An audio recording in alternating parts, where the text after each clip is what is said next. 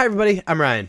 And there have been some rebalances and a banning in Alchemy, which is an arena format. Alchemy is effectively standard except with the extra arena only sets released that have like Hearthstone-esque cards. And normally instead of banning cards, they rebalance cards so you can still keep playing with the cards that you buy on arena.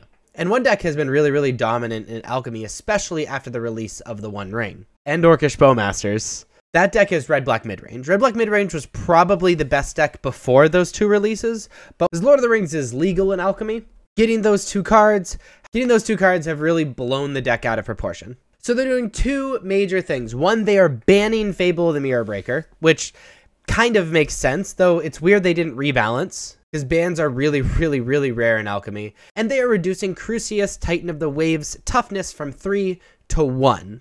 So let's read the explanation. Black Red midrange decks featuring Crucius Titan of the Waves, Fable of the Mirror-Breaker, and Sheoldred the Apocalypse have been one of the best performing archetypes in Alchemy. The One Ring further powered up these decks with the release of Lord of the Rings Tales of Middle Earth. As a result, we are rebalancing Crucius Titan of the Waves and are banning Fable of the Mirrorbreaker in Alchemy. With Kamigawa Neon Dynasty rotating out of Alchemy with the release of Wilds of Eldraine later this year, we are banning Fable the Mirrorbreaker instead of rebalancing the enchantment. We want to avoid disrupting the historic metagame with a rebalance that would only be in effect for a few months. That kind of makes sense, because the rebalances don't only affect Alchemy but affect historic, you know, if it's a arena rebalance. Okay. Crucius Titan of the Waves is losing 2 toughness to be more vulnerable to removal and in combat. Players were often pressured to pass their turn and save expensive removal spells to prevent Crucius from triggering, and Crucius' stats were good enough to stave off attacks in the early game. Now Crucius will be exposed to cheap removal such as Cut Down and Play with Fire and Bowmasters, which reduces the opportunity cost of preventing its trigger.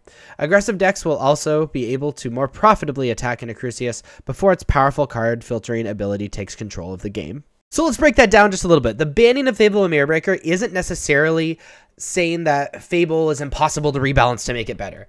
The reason is that it is rotating out of Alchemy in just a few months, and when they make changes because of Alchemy, those changes on those cards are also affect Historic and vice versa, because there's only like the original card and the arena like reformatting of a card. They didn't want to disrupt Historic because of Fable and Mirrorbreaker messing up Alchemy, so they just banned it because it's rotating out soon anyway. Okay, that makes sense.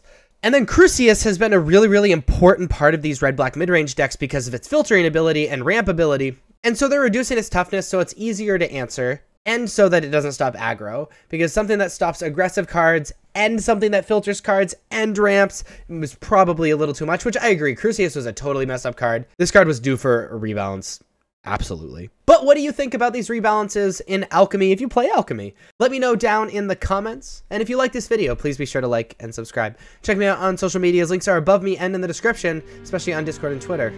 Thank you so much for watching. I'll see you next time. Bye-bye.